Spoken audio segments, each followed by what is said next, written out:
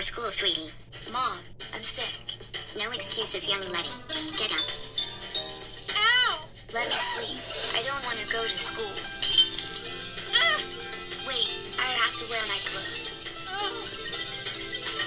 I won't let go.